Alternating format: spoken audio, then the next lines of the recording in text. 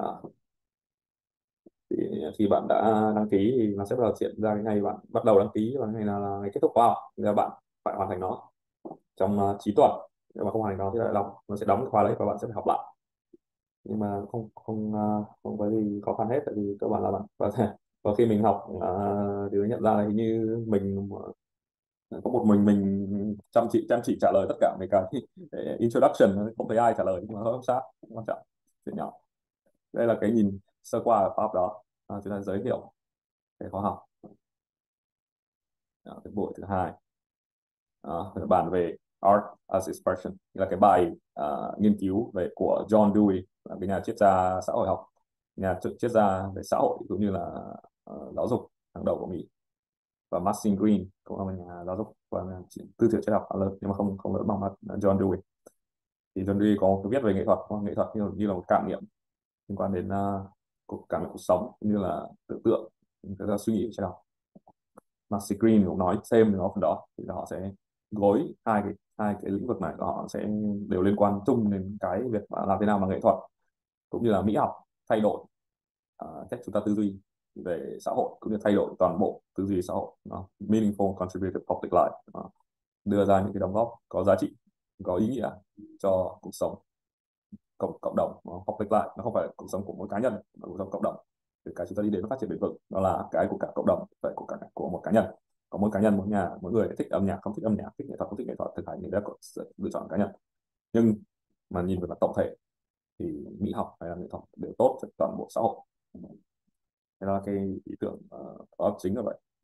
Thứ ba đúng không? Thì nó nói uh, lúc này thì Dewey đi thêm một phần nữa là liên quan đến nghệ thuật và civilization. Civilization là uh, tiếng việt là gì civilization nó là nền văn minh.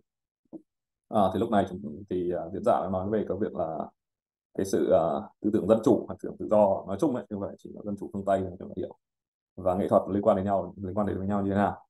Và cái giá trị xã hội ảnh hưởng xã hội của nghệ thuật đến với xây dựng cái gọi là xã, xã hội dân sự civil society như thế nào?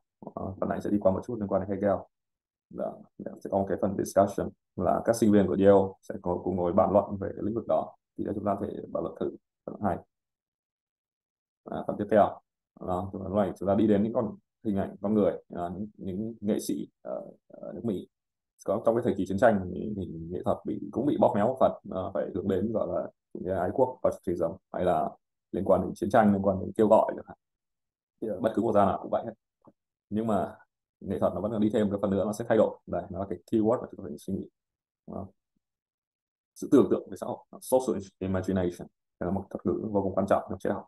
Vâng nó làm nó làm định hình lên toàn bộ hệ thống dân sự, hệ thống xã hội chúng ta, nên chúng ta không có định tưởng tượng ra một xã hội khi mà một ông ờ, máu đỏ da vàng ở bên mỹ có thể dạng cho nói tiếng việt một ông, mấy ông ở Việt Nam hay một số ông ở Đức, ở Pháp tất cả mọi người lại cùng nghĩ đến một cái xã hội ở giải đất hình chữ S, nằm ở kinh độ vĩ độ nào đó về mặt ờ, địa lý. Nghĩ đến những người đó từ quá khứ đúng không? mặc dù quá khứ là hình thành xã hội chúng ta ông bà cha ông tổ tiên thậm chí mình chưa biết mặt chưa biết tên. Hình thành trong thời kỳ phong kiến thậm chí là bộ lạc công công xã nguyên thủy cái thời kỳ của à, uh, đóng quân rồi à, để để à, đất để nước. Sau đó đến tương lai là thời kỳ con cháu cháu chắc của chúng ta chắc chắn là cũng không tồn tại để mà nhìn thấy chúng nó ra sao. Cả cái quần thể xã hội thì hầu hết nó, nó dựa trên tưởng tượng. Chúng ta không thực sự sống ở trong đó mà chúng ta tưởng tượng về nó. Đó thì phải hiểu. Và nếu mà nhìn về mặt gọi là uh, khoa học thực nghiệm critical science.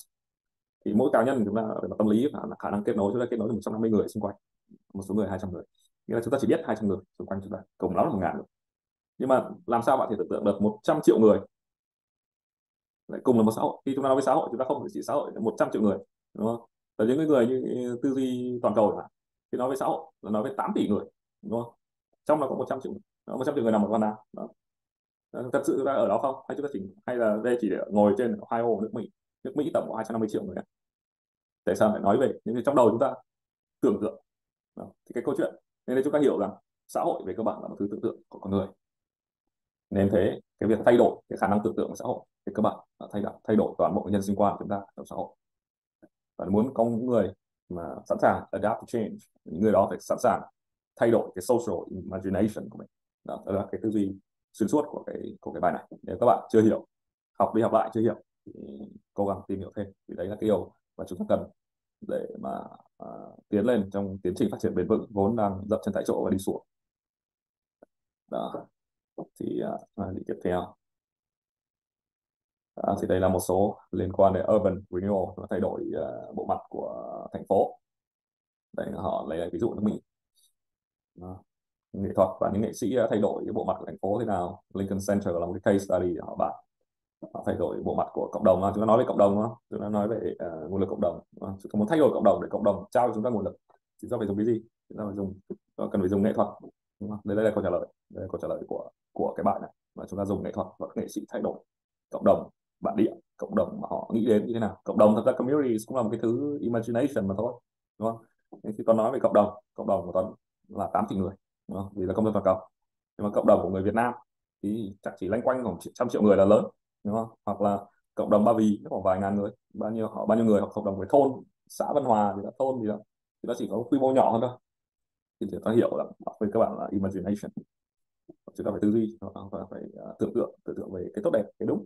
Nếu là nó thực, thực sự nó chỉ là tưởng tượng đúng không? tưởng tượng là cái điều trong đầu.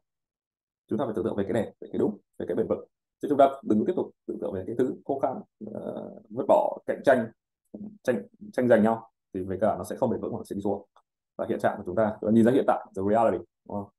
cả tất cả cái nhánh tiếp theo của triết học và về triết học ờ, ờ, uh, uh, eschatology ontology triết học các bạn chọn về cơ bản nó chính là testing the reality thì nó có thật hay không thật nó nhìn về cái sự hiện trạng có thật vừa đã qua cái báo cáo 2023 đi xuống. Việt Nam đứng thứ 53 trên 166 đạt 73% chỉ tiêu đúng không? thậm chí có nhiều cái đi xuống trong đó có bất bình đẳng xã hội là đi xuống. Ở những cái liên quan đến bảo vệ à, các sinh thể trên mặt đất life on land là đi xuống. Đó, báo cáo vừa đọc xong. Đó đó that is reality right? đấy đó là objective reality đó là sự thật. Khách quan nằm ngoài sự quyết định của mỗi cá nhân. Và nó thể sự khách quan cho thấy chúng ta đi xuống. Muốn thay đổi chúng ta phải đi lên. Và thay đổi từ đâu? Thay đổi từ cái đầu. Social imagination đó, vậy thôi thì đó là cái cách là cái cái khoa học này mình muốn các bạn hiểu được về nó. Và nếu bạn cảm nhận thêm về nghệ thuật bạn yêu nhạc cổ điển thì nó càng tốt ừ, thì nó còn tuyệt vời hơn nữa áp dụng 100% còn bạn nhớ được cái gì về nó đó chính là gì? nghệ thuật thay đổi cách chúng ta suy nghĩ về xã hội. Và phần nào thay đổi xã hội. Thế thôi. Tuần sáu thì họ sẽ à, nói về thế kỷ 20 thế kỷ 20 diễn ra rất nhiều sự kiện của nhân loại. Chiến tranh rồi thay đổi rồi bất bình đẳng rồi ở Mỹ có phân biệt chủng tộc tại sao là có Martin Luther King đó thì những nhà nghệ sĩ họ đã hoạt động thế nào? Họ đã lên tiếng ra sao? Họ đã thay đổi thế giới ra sao? Nói về cái hiện tượng mà liên quan thế chiến hai hay là nhà soạn nhạc người Đức tác động đến uh, diệt chủng Do Thái như đó là những cái case study rất là chi tiết. Thế kỷ 21 thì chúng ta thay đổi thế nào? Đó. Ở đây uh, diễn giả có đưa ra một số cuộc uh, đối thoại vô cùng giá trị với nhà nghệ sĩ, với những nghệ sĩ hàng đầu thế giới. À, như là nghệ sĩ Dương Cầm, Jonathan Diaz à, và các nhà nghệ sĩ khác à, thậm chí ở đây có liên quan đến uh, Trung Quốc uh, Ai Weiwei uh, người Trung Quốc. Nói về câu chuyện là nó và biểu tình để được phép uh, tác nghệ thuật của mình uh, cái thứ. Đó. Thì uh, ở đây là bài đọc thêm thì thường nó đi đến nước Mỹ mà thôi. Còn cái này thì liên quan đến Trung Quốc đúng không?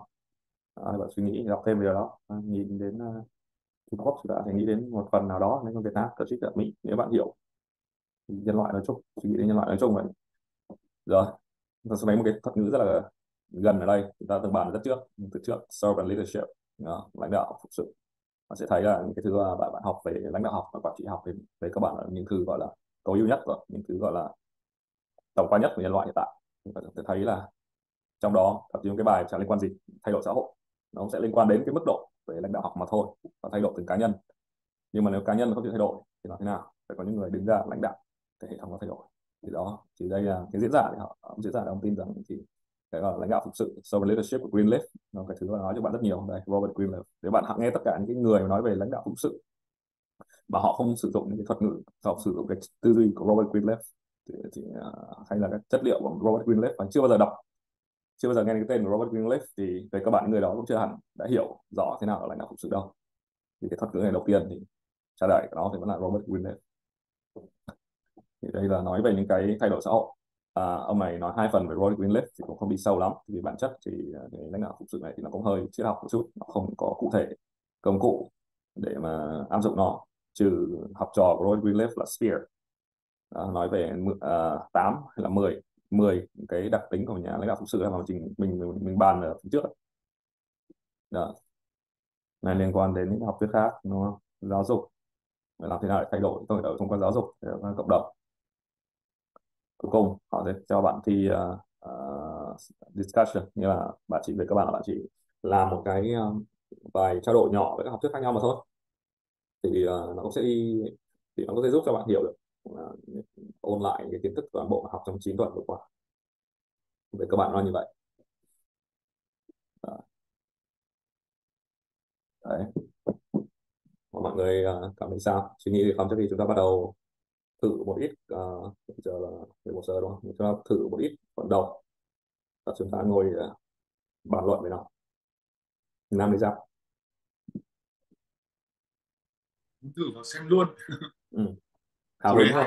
Hào hứng không? Hào hứng không? À. cuối cùng đã tìm ra. Ừ. Đó. thế tôi nói các bạn từ rất lâu rồi tại sao? Phải học triết học. Học triết học nó không phải cái từ khô khan như là Mark Lenin được học ở trên trường à triết học lớn rất nhiều. Triết học và cái kết nối tất cả kiến thức nhân loại nha. Thế thế bắt đầu hai khóa hai tuần liên tục hai ba tuần liên tục chỉ hỏi về triết học. Và nó sẽ có kiểm tra về triết học đấy. Bạn hiểu thế nào về triết học của Dewey? Và hiểu thế nào triết học của Greene? À, và vừa bạn hiểu thế nào về uh, xã hội dân sự civil civil society của Hegel và kết nối thế nào với với với kiến thức của Dewey về nghệ thuật.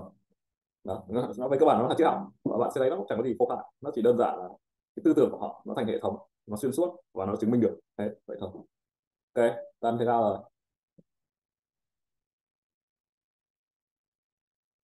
Ổn hả? Ok.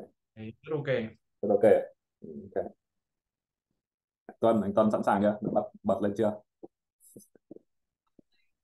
Ờ, anh thì anh cứ nghe thôi, không? Dạ. còn ờ, ờ, vì chưa hiểu hết được nên anh sẽ dạ. sẽ học ok. dần dần.